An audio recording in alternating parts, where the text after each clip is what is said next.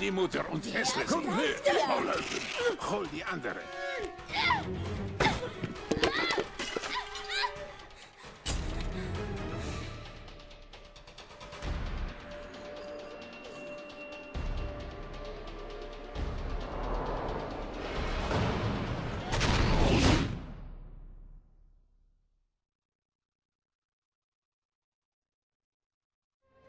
Und damit ein herzliches Willkommen und Hallo zu einem neuen Let's Play Projekt und zwar zu John Woo Presents Stranger Hold.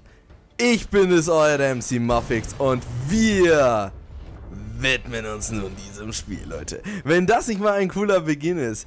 Ja, ähm, John Woo Stranger Hold, Leute, ein sehr, sehr, sehr cooles Spiel wird das werden. Mit sehr viel Action. Ich denke, das hat man hier in dem, allein in dieser Szene schon gesehen. Ja, das Spiel ist aus dem Jahre 2007 und für PS3, Xbox und PC natürlich erschienen. Ähm, wie der Name schon sagt, Leute, steckt dahinter der Hongkong-Regisseur John Woo hat einen meiner persönlichen Lieblingsfilme, Face Off, im Angesicht, glaube ich, des Feindes heißt es auf Deutsch gemacht, der so geil einfach ist, Leute. Wer den nicht gesehen hat, ah, furchtbar. Ähm, ein super, super Film. Und er hat auch viele andere coole Actionfilme gemacht, die eben besonders eben, ja, sehr viel Action eben beinhalten. Darunter auch den Film Hard Boiled. Und äh, Stranger Hold bezieht sich eben auf diesen Film. Es ist so gesagt, ja, man könnte fast sagen, so der inoffizielle Nachfolger von dem Film. Da hier ebenfalls der Hauptschauspieler von Stranger Hold. Hm, lasst mich kurz nachschauen. Chow Yun Fat. Ach, also würde ich mir sowas auch merken können. Ähm, spielt ebenfalls hier den äh, Polizisten hier Tequila. Und äh, der, ja, der Protagonist heißt ebenfalls hier Tequila, wie eben im Film. Es ist also sowas wie ein inoffizieller Nachfolger. So also ähnlich wie bei Ghostbusters ähm, das Spiel oder auch äh, Zurück in die Zukunft, das Telltale-Episodenspiel. Ja, Leute, ähm, John Woo-Filme sind eben dafür bekannt für sehr viel Action, sehr viel coole Effekte. Tauben, Tauben, die immer rumfliegen, Leute, das kennt man. Viele Slow Motion, Bullet Time, all das Mögliche gibt's hier. Und ich muss sagen, ich habe mich jetzt lange gefreut hier auf das Spiel, dass er jetzt endlich zu Let's Playen. Ich habe hier ein bisschen reingeschaut, so das, ich glaube so die ersten zwei Level. Dann habe ich es erstmal ruhen lassen für so ein halbes Jahr, Leute. Und jetzt können wir es endlich Let's Playen. Ich freue mich sehr. Ähm, den Film Hardboiled habe ich natürlich gesehen, aber es ist schon so lange her. Ich muss sagen, ich kann mich an sehr wenig erinnern. Ich fand ihn cool. Nicht so geil wie Face Off, aber ich fand ihn super. Ich muss sagen, aber leider kann ich mich eben nicht mehr an viel erinnern. Also, wenn mir da nicht mehr so alles hier bewusst ist, ich weiß noch, dass der Tequila heißt, äh, dann entschuldige ich mich dafür, Leute. Äh, ja, äh, John Woo Strangehold ist hier eben ähm, ein Action, äh, ein Actionspiel eben, ein Third-Person-Shooter, wo man, wo es eben darum geht, um coole Stunts zu machen. Sagen wir es einfach so. Es geht einfach darum, Gegner möglichst cool zu eliminieren, Leute. Und wenn das nicht schon mal gut klingt. Wir spielen hier leider die indizierte Version, weswegen einige Moves und so und besonders eben die äh, Ragdoll-Animation, also wie die Körper umfliegen, wenn sie tot sind, äh, rausgeschnitten sind, Leute. Aber ich denke, das wird unseren Action-Trip nicht kaputt machen. Bevor wir jetzt noch mehr labern, würde ich sagen, starten wir mit einer neuen Kampagne. Und ich würde sagen, es ist Zeit, die Verbrecher alle zu machen. Jo, wir spielen auf normal und mein anderes Spiel wird gelöscht. Kein Ding. Starten wir.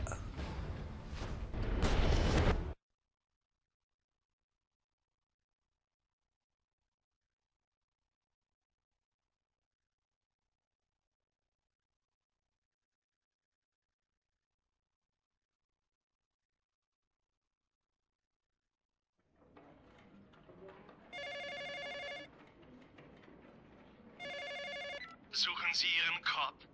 Schicken Sie wen zum Kowloon Square. Finden Sie den goldenen Hasen. Ein Mann, eine Stunde. Ein Mann? Das ist eine Falle, Captain.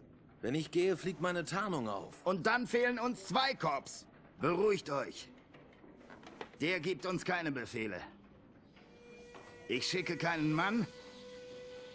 Ich schicke ein ganzes SWAT-Team. Das werden Sie nicht. Sie geben auch keine Befehle, Tequila. Ein Kopf ist verschwunden. Es gibt nur eine Spur. Schicken Sie SWAT und die Spur ist weg oder tot. Es wäre verrückt, allein zu gehen. Du warst immer der verrückte Jerry. Was ist passiert? Wäre ich verschwunden, würde ich hoffen, dass einer von uns geht. Schicken Sie niemanden, Captain. Sie wären mir nur im Weg. Nicht Tequila. Das ist eine Falle. Das hoffe ich. Die sollen ja nicht unsere Zeit verschwenden. Kommen Sie zurück, Tequila.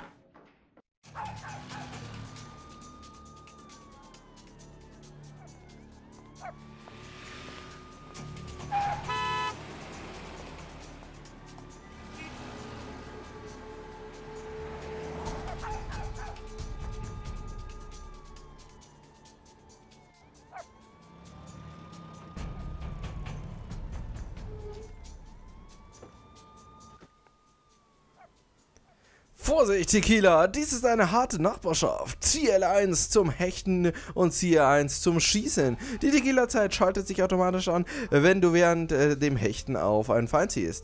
So, kurz müssen wir aber nochmal... Oh, sehr geil, hier das Auswahlmenü. Ähm, gehen wir noch ganz kurz in die Optionen, machen hier... Äh, okay, schade, wir können hier den den Ton von den Charakteren nicht lauter machen. Aber ich würde sagen, wir machen, äh, wo haben wir es denn hier? Kann man keinen Untertitel anmachen oder bin ich gerade noch zu blöd, um das zu sehen? Ich bin wahrscheinlich gerade zu blöd. Okay, dann machen wir eben keine Untertitel an. Ich wollte die gerne anmachen. So, also, es ist eigentlich leicht erklärt. Wir können hechten. So, Match, äh, Whip. Max Payne ebenmäßig. Können wir hier so dodgen. Und wir können eben, ihr seht, wenn wir hechten, auch äh, gleichzeitig hier äh, schießen. Und wenn wir das eben tun, dann wird hier eben die Tequila-Zeit aktiviert. Und ja, daraus kommen natürlich einige sehr geile Moves zustande. Oh Leute, hier kommen schon die ersten Tauben. Und Melonen. Was war denn das, Leute? Das hat sich angehört, als wäre eine Bombe explodiert. Das war eine Melone, oder? War es eine Melone? Vielleicht war es so eine versteckte Bombe. Ich verstecke auch mit meiner Bombe mit Melonen. So, und ihr seht schon, man kann auch einige Sachen hier abschießen, wie zum Beispiel das Ding. Und da spritzen die Funken. Und ich denke, Leute, eigentlich war, ist das schon das ganze Spiel, Leute. Boah, krasse Action nämlich und sehr viel Geballere. Äh, es geht, wie gesagt, einfach nur darum, geile Action zu haben, Leute. Und für die, die mich kennen, ich mag solche Spiele. Ich habe auch sehr gerne ein Dings da. Äh, ich mag auch sehr gerne Max Payne, überhaupt sowas. Darkness, einfach so Spiele, die einfach richtig, richtig coole Action haben. Und ich finde, sowas ist einfach, sowas macht immer richtig Spaß. So, jetzt muss ich nur wissen, was weitergeht. Und ja, also in diesem Spiel, sagen wir mal ganz ehrlich, es ist zwar, es ist ein äh, Hongkong-Actionfilm, Leute. Und die sind jetzt vielleicht nicht für poetische Stories bekannt oder hier raffinierte Sachen. Nein, es geht einfach um geile Action. Und ich denke, wenn diese äh, geile Action funktioniert, dann passt es ja. Missionen. Um die Missionsinformationen äh, jederzeit äh, vom Handy abzurufen, äh, drücke die Select-Taste untersuchen den Markt. Äh, suche nach dem goldenen Hasen. Oh, der goldene Hase. Okay, dann auch zum goldenen Hasen. Und ja, leuchtende das wollte ich jetzt auch gleich sagen. Mit denen können wir interagieren mit L1 und dann surfen wir hier runter. Ist das geil, Leute? Ist das geil? Ähm, stilvolle Bewegungen erwerben dir Sterne, die äh, deinen Tequila-Bombenzähler auffüllen. Je stilvoller die Bewegung ist, umso mehr füllt sich der Zähler. Ey, wenn das nicht Style hat, Leute. Also wenn das nicht Style hat, dann weiß ich auch nicht mehr. Ist das ein Explosivfass? Das ist kein Explosivfass. Ah doch. Yes! Und auch hier mit dem Rollwagen kann man, das ist auch geil, bam, so, so richtig geil eben, so wie ein Actionfilm, einfach hier so auf den Rollwagen draufspringen. Ach Leute, mir gefällt das Spiel schon, jetzt schon. Und ihr seht auch, eigentlich alles in diesem Spiel kann man kaputt machen. Hier, wirklich alles. Schießt auf irgendwas, äh, ist kaputt. So. Oh. Hier abgeschossen. Bam! Und dodgen. So. Wie gesagt, Leute, das Spiel ist nicht das hier, äh, schon, pompöseste, spannendste, hier Spec of the Line mäßigste, was revolutioniert, Leute. Aber es hat einfach etwas, was einfach geil ist. Und zwar Action, Leute. Und ganz ehrlich, geile Action, Leute. Wer mag sowas nicht? Und jetzt hier auf dem Ding hier nach oben laufen. Bam! Ist es geil. ja, sicher mein Spaß jetzt schon mit dem Spiel. So, das Level kenne ich natürlich jetzt auch noch hier am Anfang. Wie gesagt, ich habe es ja ein wenig gespielt und wir haben den ersten Kontrollpunkt erreicht. Aber wir haben schon ganz schön viel Leben verloren. Sollte man aufpassen. Vielleicht nicht einfach nur sinnlos planlos auf die Gegner zulaufen und hoffen, dass wir einen coolen Move machen. Egal, Leute, mach mal coolen Moves. Führt es die volle Bewegung aus, um Sterne zu sammeln. Das Gesundheitszeichen leuchtet auf, sobald du genügend hast. Äh, drücke die Linkstaste, um Tequila-Bomben-Energie direkt in Gesundheit umzuhalten. Wenn du dem Tode nahe bist, kannst du dir somit einen Gesundheitsschub geben.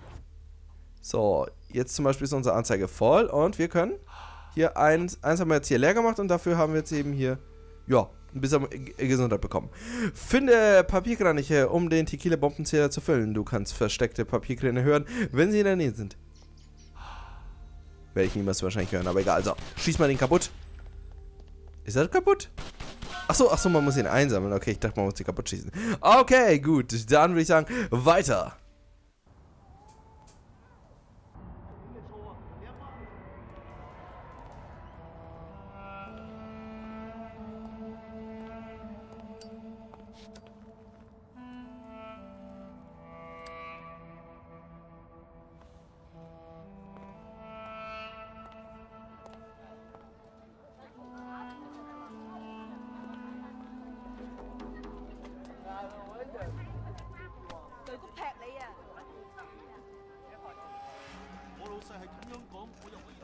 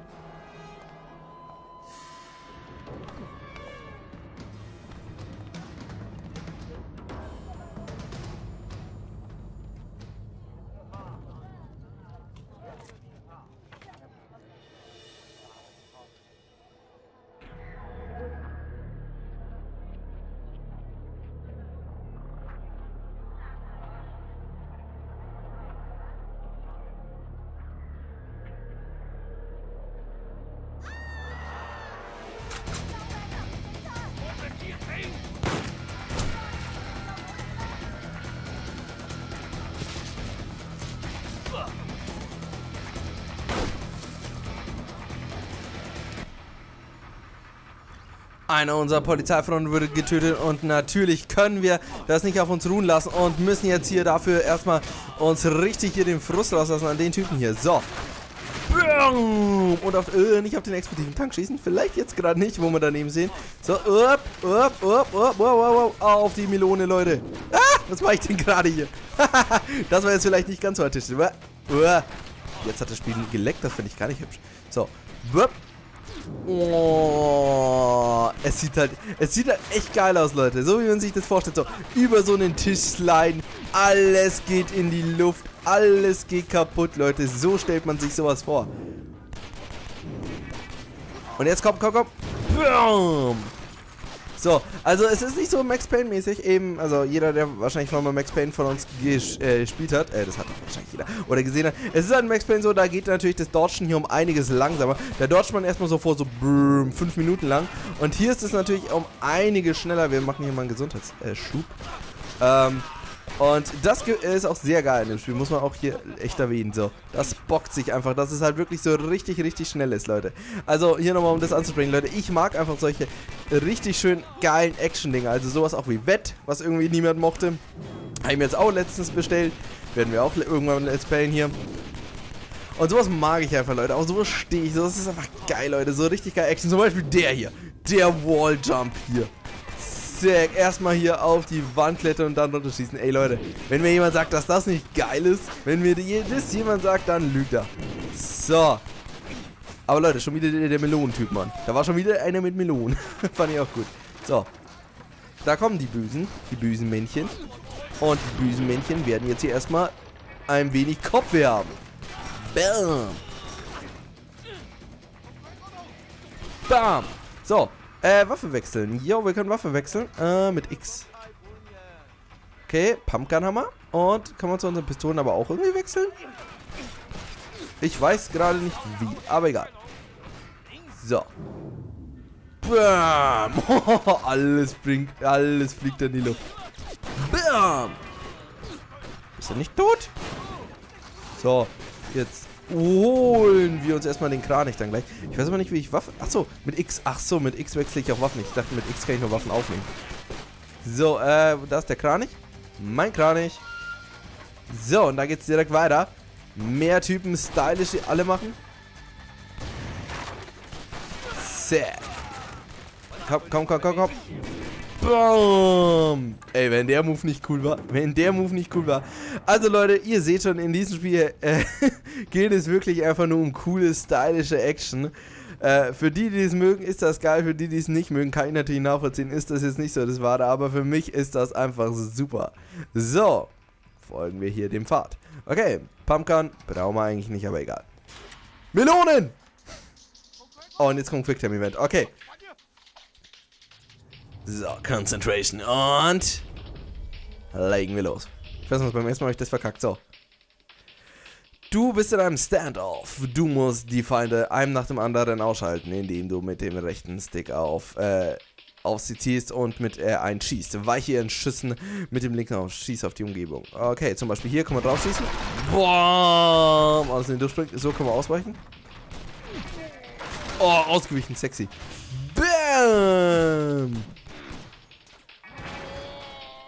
Stylisch. Stylisch. Also wenn der nicht stylisch war, dann weiß ich auch nicht mehr. Einmal hier bei dem einen auch die Säule hier kaputt gemacht, Leute. Ah, es ist nice. Es ist so nice. So, dich mach mal richtig geil, alle hier. Okay, dich mach mal doch nicht so richtig. Hä? Wo bist du? Ich sehe dich nicht mehr. Er hat mich überlistet. Er hat mich überlistet, Mann. So. Ach, verdammt. Oh, den Move will ich machen. Der ist geil, der ist geil. So, komm. So, jetzt machen wir richtig den geilen Move. So, zip. Bam! Ihr kennt es ja. So, äh, so also in jedem guten Hongkong-Streifen. Einfach so ein Typ, der so über so ganz viele Dächer so läuft, aber alles wegschießt da von oben. So, holen wir uns hier mal wieder so einen Kran. Ich, ich komme da nicht drauf, so. Bam! Bam! Oh, es ist nice. Ey, Leute, also ich habe bald Spaß jetzt schon hier. So. Pistole, äh, das ist eine Pistole. Wir haben, oh, was haben wir da für eine Pistole aufgenommen? Bam, was, äh, ein goldener Revolver oder so. Woo! Schöne Fahrt. So, wir haben hier saumäßig viel Leben verloren. Das nächste Mal gehen wir hier den geraden Weg, der ist leichter. Zack. In den Kopf, sehr schön. Wupp, wupp, wupp, wupp, wupp, wupp. Uah. Und das war's. So. Das war's immer noch nicht. Was das jetzt? Gebt ihr jetzt auf, Leute. Man legt sich mit keinem Typen an, der, äh, der Bullet Time drauf hat. So. Zack, zack, zack, zack, zack, zack. So. Wir stellen uns ja eigentlich voll schlecht an, fällt mir gerade auf. Äh, um mit markierten Objekten zu hintergeben. Wo sind hier markierte Objekte? Wir sterben, wir sterben, wir sterben. Und wir haben gleich keine mehr Energie mehr. Um hier uns einen Lebensboost zu holen. Wo ist denn der Typ mit seinem blöden Pumpgun? So. Deckung und zack, zack, zack, zack. Weg mit dir. Pumpkin ist langweilig. So. Okay, ach so, so interagieren. Okay. Drüber gehüpft und äh, weiter geht's. Ich will in die Melone jumpen, ich will in die Melone jumpen. So, was haben wir denn da oben Schönes? Äh, irgendein schönes Objekt, was wir kaputt schießen können. Gerne doch. Und zack, ey, dafür will ich ja eine Million Stilpunkte haben, wenn das nicht cool war. So, Lebenshol und weiter geht's. Bam! Einfach nur, einfach nur wild drauf losschießen, das hilft auch. einfach nur cool in die Gegend schießen. So, warte, warte, da ist noch irgendeiner. Immer, immer an der Seite verstecken sie sich da ganz... Oh, habe ich den in die Klöten geschossen? Oh, sorry, sowas macht man nicht. Sowas, nee, es gibt, es gibt Regeln, Leute. Auch wenn man hier Bullet Time hat und von tausend Sachen beschossen wird und man eigentlich keine Chance hat, irgendwie auszuweichen, sowas macht man nicht. So, manuell können wir auch die Tequila-Zeit aktivieren, was natürlich auch cool ist. So, nehmen wir uns erstmal das und wo geht's weiter? Äh, da. So, zum Beispiel, wenn ich jetzt hier, muss ich nicht irgendwie laufen, ich kann auch einfach so BAM machen. Und dann können wir uns in Zeitlupe hier anschauen, wie geil er hier weghauen wird. So. Und wie geil auch du weghauen wirst. So, hier mal ein Papierkran. Schon wieder? Da vorne ist direkt der nächste. Super. Toll. Scheint mir ein schwerer Abschnitt zu sein, weil hier so viele äh, von denen spawnen. Precision Aim unlocked. Bam! Oh, das hat wehgetan. Das hat wehgetan, oder? So. Für das die volle Bewegung aus dem Stern wieder zu bekommen, klar, äh, drücke die Oben-Taste, um Präzisionstest zu machen. Okay. Warte, das machen wir geil, das machen wir sexy. Bam! Und dann haben wir hier die Bullet Cam, ähnlich wie eben in. Das sieht irgendwie aus, als müsste sich eigentlich nur übergeben. ähm, wie in Sniper Ghost Warrior oder so. Ähm, ja. Ähm, in der deutschen Version, das habt ihr sicher auch schon bemerkt, gibt es kein Blut. Für viele Leute natürlich ein No-Go, aber für mich, muss ich sagen, stört es nicht. Ja, wir haben mir nur in die Hand geschossen, das ist irgendwie dumm. Finde ich aber geil, Leute, dass es geht. Also nicht so wie in vielen Spielen, dass, ach, du schießt in den Fuß, ach, das ist genauso, als würdest du ihn in den Kopf schießen. Du schießt ihm ins Bein, ach, das ist genauso, als würdest du ihm in den Kopf schießen. Also, ihr versteht hoffentlich, was ich meine. So, also das ist irgendwie unwichtig. aber den mal 5 Meter weggehauen. Äh, das ist halt äh, ein Unterschied macht, wo man hinschießt, was ich ganz nice finde. So. Bam! Wow. Papierkranich. Aber ach, den haben wir schon eingesammelt. Ach, das war dumm. Dann wollte ich das gar nicht deaktivieren. Äh, aktivieren. So. Schön, den hier fertig gemacht. Leben aufgefüllt, Leute. Und... Ja, ich würde sagen, wir machen jetzt unseren allerersten Cut, Leute. Im nächsten Mal geht's dann hier weiter mit Stranger Lord. Bis dahin, euer MC Muffix. Haut rein, auf Wiedersehen. Ciao.